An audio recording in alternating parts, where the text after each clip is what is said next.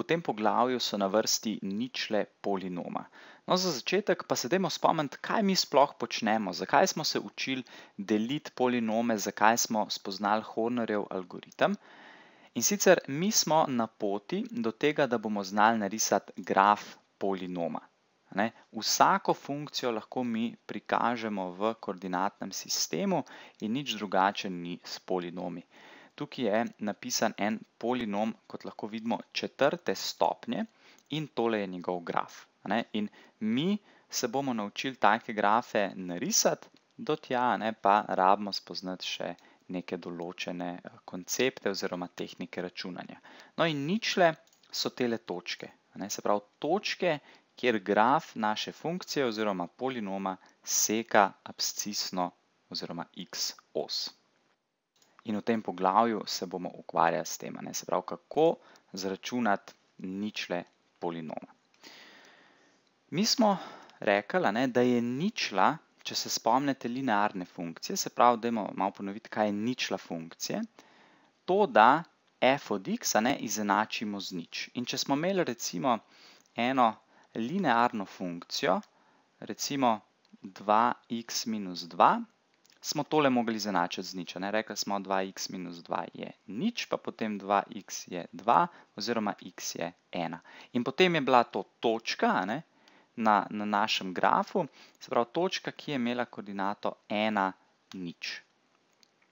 Potem smo imeli kvadratno funkcijo in videli smo, ne, da pri kvadratni funkciji se stvari malo zakomplicirajo. Ker pri linearni funkciji je ničla samo ena, pri kvadratni funkciji smo imeli pa tri različne primere, če se spomnite, in sicer smo računali tisto našo diskriminanto, ne, če se spomnimo formule b kvadrat minus 4ac. In potem smo imeli tri različne primere. Torej, imeli smo takle primer, kjer imamo recimo dve ničli. Lahko je tudi navzdol obrnjen graf.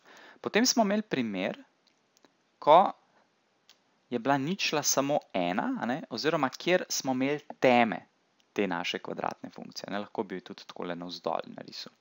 No, potem smo imeli pa primer še, ko kvadratna funkcija ni imela ničel, ko je bil graf takole nekje drugje ne, in nismo nikjer sekali abscisne osi, oziroma tudi takole navzdol bi lahko bil obrnen, oziroma rekli smo, da obstajajo ne, neke kompleksne ničle. No, in ker je polinom, ne, ker so polinomi tudi funkcije, lahko tudi njim določimo ničle, se pravi te točke, kjer sekamo x os. Zdaj vprašanje, ne, kako te ničle določiti. Zdaj, v tem poglavju se bomo bolj ukvarjali s tehnikami, ne, videli bomo, da si lahko pomagamo s Hornerjevim algoritmom, potem v naslednjem poglavju ne, se bomo pa še bolj poglobili v to iskanje ničel, ker pri polinomih je to malo bolj kompleksen proces. Ok, zdaj si bomo pa pogledali en primer, se pravi, kako mi lahko določimo ničlo za nek polinom.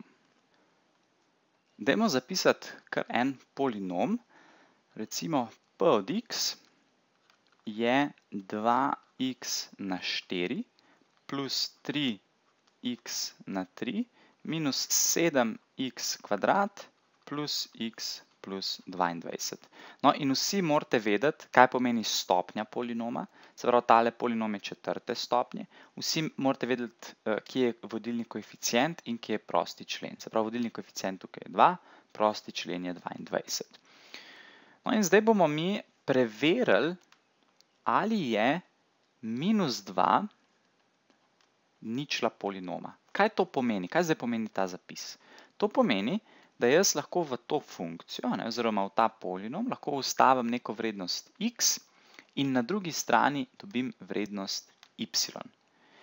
In zdaj bom jaz preveril, če jaz ustavim minus 2 sem le noter, posod, kjer imam x, dam minus 2 in zanima me, ali dobim potem y nič. Ne? No in uh, ena od možnosti, da mi to ugotovimo, je s pomočjo Hornerjevega algoritma. Tudi to ne, smo obdelali v prejšnjem poglavju, tako da tisti, ki recimo zdaj ne znate Hornerjevega algoritma, ne id naprej, ne, dajte video na pauzo oziroma si pejte pogledati prejšnje poglavje. Pogledamo stopnjo, ne, četrte stopnje, torej rabimo 5 delih stolpcev. In zdaj bomo preverili, ali je minus 2 ničla polinoma, kar pomeni, da damo minus 2 semle.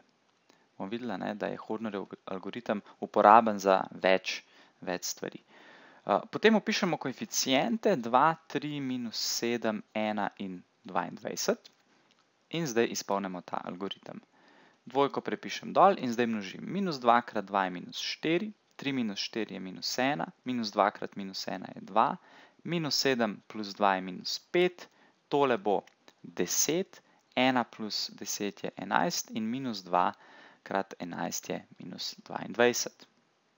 Če še tole seštejemo, dobimo nič.